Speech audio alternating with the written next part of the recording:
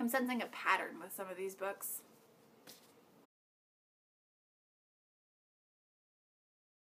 Hey everyone, I'm Catherine and I'm here today to share something that's very shameful. And that is the collection of unfinished series of books. So I had some criteria while I was making this list.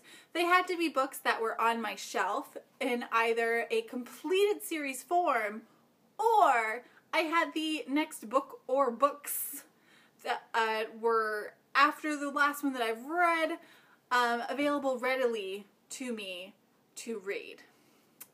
So when I actually got down to it and, you know, discovered this list and, and piled all the books up next to me, which you can't actually see, um, I'm gonna have to divide this video into two parts.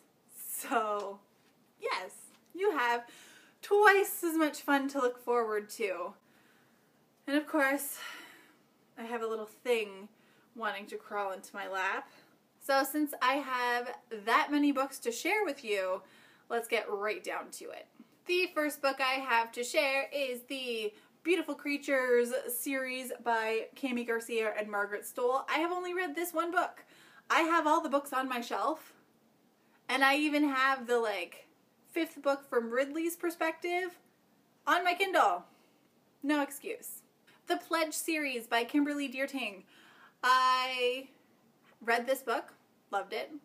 Have the second book in two copies on my Kindle and on my shelf. I think I even have the third book in a ARC form sitting upstairs with my ARCs. No excuse. A Beautiful Dark by Jocelyn Davies. I read this one as an ARC form from NetGalley years ago. I bought it because I liked it so much. I bought books two and three because I liked book one so much. They're just sitting on my shelf. No excuse. Harry Potter. I have yet to read The Deathly Hallows. No excuse. The Lying Game by Sara Shepard. I loved the first book. I loved the TV series. I have, I'm pretty sure, all the books in the series sitting on my shelf. No excuse. The Matched series by Ally Condie. I loved the first book. I then subsequently bought it in physical format since I got it as an e-arc. Bought books two and bought book three. I even have book two as an arc form upstairs too. No excuse. Elixir by Hilary Duff. To be fair, I did just buy the third book, but I really enjoyed the first one. I have had the second one on my shelf since it came out. No excuse. Pretty Little Liars by Sara Shepard. To be fair, I have read the first eight books, and she just keeps coming out with more books. So, there's a slight excuse in that one. The Mortal Instrument series by Cassandra Clare. I've read books one and two. I have all of the books currently from the series on my shelf, although I've heard rumors that there might be another book. Um, I enjoyed the movie.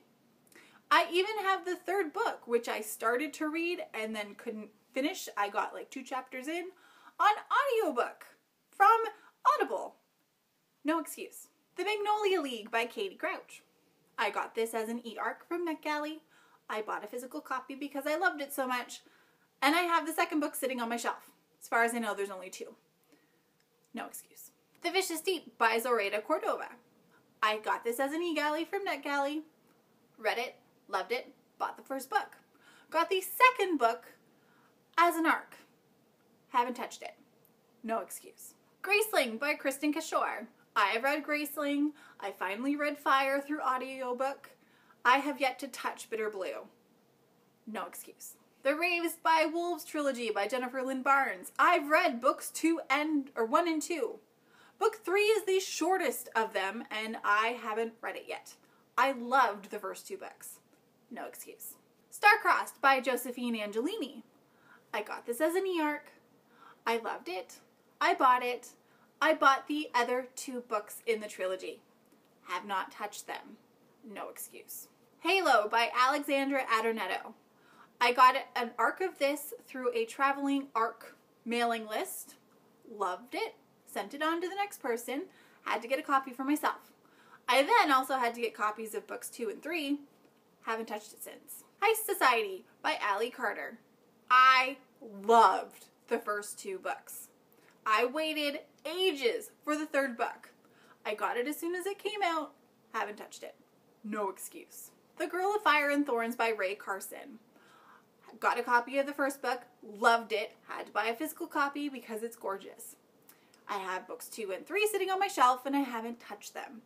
No excuse. Eve by Anna Carey. I really liked the premise of this first book. Bought a copy of my own, bought books two and three. Haven't gotten around to reading them at all. No excuse. The Gathering Storm by Robin Bridges. I loved this first book. It was awesome, paranormal sci fi set in like Russia from 100 years ago. It was really, really good. Got the first book, got the second book, got the third book. Haven't touched the second or third yet. No excuse. Skinned by Robin Wasserman. I loved the first two books. I have the third sitting on my shelf, and I haven't been able to finish the trilogy. They're little, like they're not even full size books. Look how short this is. No excuse. The Goose Girl by Shannon Hale. I loved the first book and I loved the second book, and the third book is sitting in a matching cover on my shelf. No excuse. The Girl in the Steel Corset by Kady Cross. I have received all four books in eARC form. I have only read the first three, and I have all four books sitting in hardback copies on my shelf. No excuse.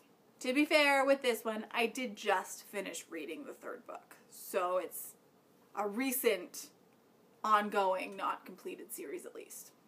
The Candidates by Inara Scott. I have the first and second books, and I've only read the first. No excuse. Embrace by Jessica Shirvington. I have the first two books in hardcover. Pretty sure I have the third book at least in ARC form, and I've only read this one. No excuse. She's So Dead to Us by Kieran Scott. I own the first two books. I've read the first one. I don't own the third, but I haven't read the second one yet. So why buy the third book if I haven't even read the second one? No excuse. The Forest of Hands and Teeth by Carrie Ryan. I own all three. I have only read the first, and it was awesome. No excuse. Divergent by Veronica Roth. They're right behind me on the shelf. I have only read the first two. No excuse. The Daughters by Joanna Philbin.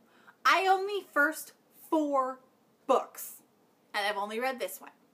No excuse. Die for Me by Amy Plum. I the first two books. I've only read this one, which is why I haven't actually bought the fourth, the third book yet. No excuse. Lost Voices by Sarah Porter. I own all three books. I loved this first book and I haven't touched the second two. No excuse. Siren by Tricia Rayburn. I own all three books. I hate the fact that they changed the covers after the first book was released. And I've read the first two, but I haven't been able to finish reading the third book. No excuse. The Sookie Stackhouse series by Charlaine Harris. I think I own them all. I've only read the first like six or so, but there's still a lot left I haven't read. No excuse. Rachel Vincent's Werecat series. I own all five, six books.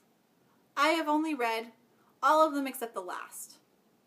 I haven't read the last one and I don't know why. No excuse. The Undead and Unwed series by Mary Janice Davidson. I have a lot of these. I have only read like the first four or five. They are hilarious and I don't know why I haven't finished it. No excuse. The Argeneau Vampire series by Lynsay Sands. To be fair, she just keeps cranking them out. I'm not sure if she's actually done yet. I own most of them though, and I've only read about half. No excuse. The Anne of Green Gables series by Lucy Maud Montgomery. I have this entire lovely box set. I've read a lot of them. I haven't read all of them. I feel like it's kind of a slap in the face since I'm a Canadian. No excuse. So that's it for part one. As you can see, I have many, many books without an excuse. to not finish reading. I think the only excuse I can come up with is time because I have to work. If only I could get paid to read, that would be awesome. Like a penny a word would be awesome. Like a dollar a page, that would be, I could totally do that.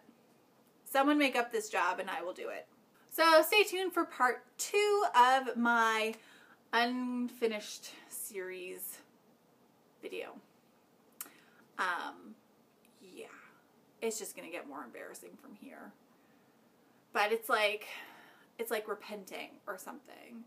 I'm just, gotta get it out there for the world to know and then I can fix it. Yeah. So until next time, guys, happy reading and let me know down below if you have any unfinished series sitting on your shelf that you are super embarrassed about because I got a lot.